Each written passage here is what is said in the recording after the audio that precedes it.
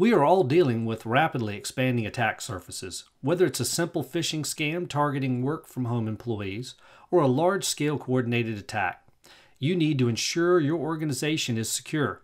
Today, I sit down with Simon Saunders to discuss how a zero trust strategy can accelerate the prevention and mitigation of security breaches. On Inside Track.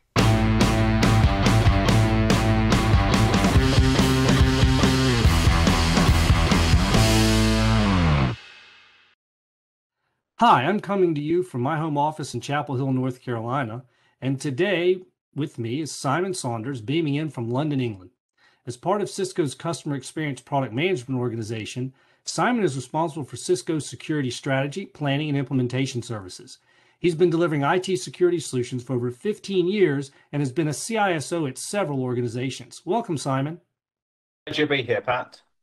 Well, Simon, what drives your passion for IT security and zero trust specifically? I've been at it for nearly 20 years now, Pat. So clearly it's got to keep me engaged. And for me, it's just ever changing. We see the threats that our customers face keep evolving, keep changing as our attackers innovate. And then on top of that, we have our customers whose businesses keep changing. They keep wanting to do new things, work in new ways, use new technologies. And just that melting pot of all those things throws up fresh challenges, fresh conversations, fresh ideas every single day. And when we think about zero trust, what really excites me is there's many long-standing security principles and concepts that we've talked about for years and years and years, but the reality is they've not really been operationally viable. And I think now with the concept of zero trust and some of the ways we bring this together neatly, we've got a real chance to implement these long-standing security principles and concepts and really better defend our customers' networks as a result. Well, I mean, really sounds like there's never a dull day at the office for you. Uh, you know, we continue to hear about the ever increasing number of cybersecurity breaches. And in the last year, with the move to so many working from home, the average organizations had a big increase in their possible attack surface. I mean, attacks have been as simple as a phishing scheme targeted at work from home employees or at a corporate network, as we saw with the recent Colonial Pipeline breach. They also can be highly coordinated state actors, as we saw with SolarWinds. Zero Trust is getting a lot of buzz as a way to protect organizations. Unfortunately, it can be a confusing topic. You know, Simon, can you tell us more about what Zero Trust is and how it can help protect organizations?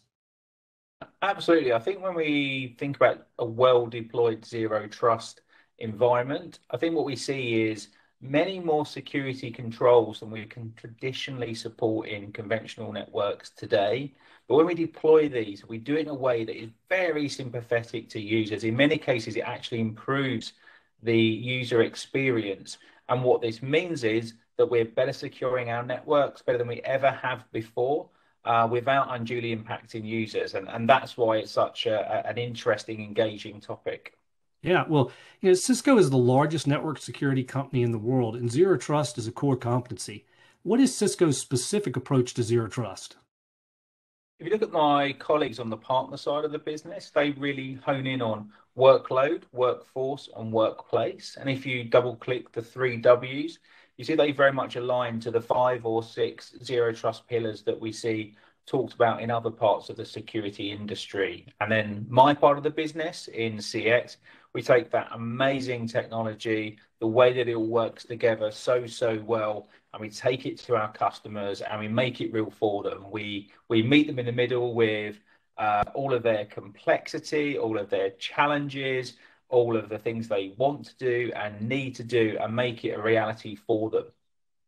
Oh, well, you know, normally we think of the goal of IT security as stopping attacks before they breach an organization. And Zero Trust has this mitigation goal behind it and seems to be a real key difference in strategy there. Can you dive a little deeper into how Zero Trust minimizes damage if a primary security defense is breached?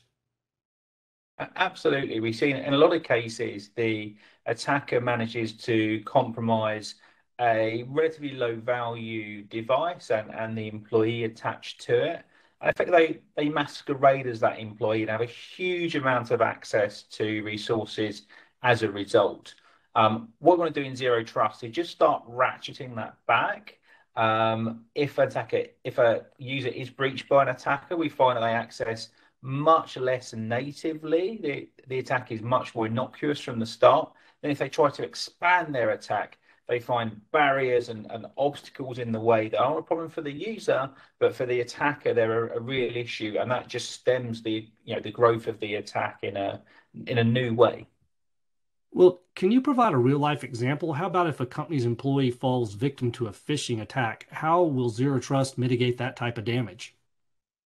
Absolutely. So, what we see in an attack like that is a user receives an email, they click a link, they open an attachment, um, and, and, through a number of steps, the, the outside attacker acts as that user on the network. So, um, if they can access, you know, file systems and machines and, and, applications with relatively little challenge, we find they've got a huge landscape in front of them, and the attacker can really take their pick.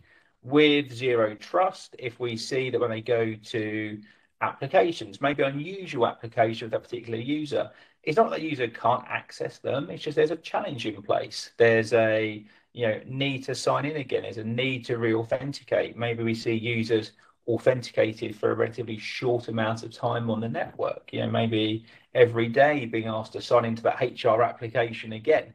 Um, and attackers just find this so, so challenging. It slows them down to such a great extent that we really give a, a security advantage as a result.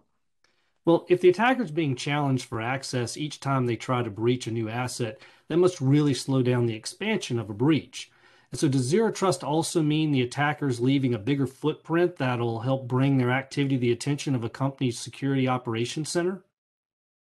Absolutely. We're putting in many more control gates than perhaps we had before. And all of those generate logs, they generate reports for us.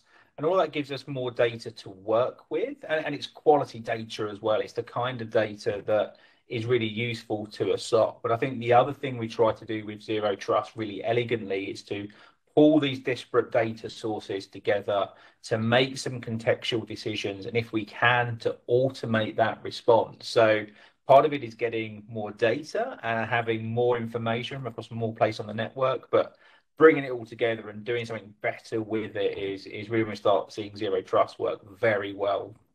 Well, how does this make the SOC's job easier?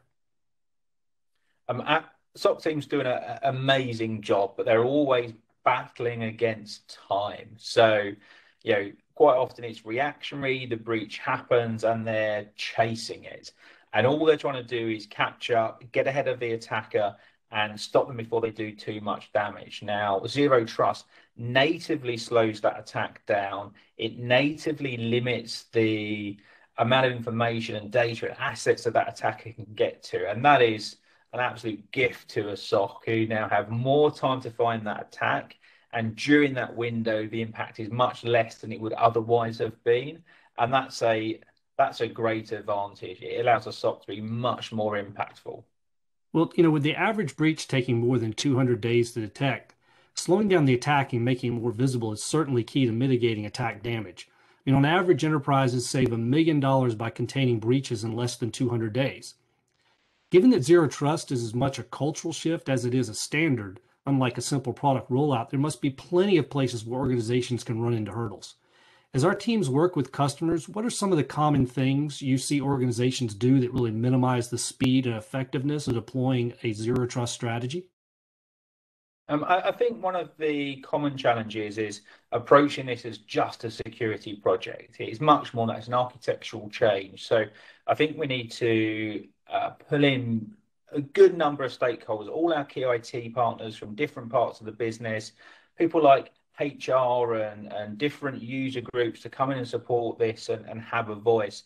And what's so interesting as a security person who's seen security normally throw up barriers, incur costs, be a real challenge. In this conversation, we can talk about operational efficiency. We can talk about enabling things that have perhaps been not viable before. And not only do we need these stakeholders to help us, we actually turn them into champions for the zero trust initiative. And, and that's so key. And then uh, I think sitting behind that is you need a strategy, you need a plan, you need to be able to go and execute uh, very effectively to to drive strong zero trust outcomes, especially to do that at speed.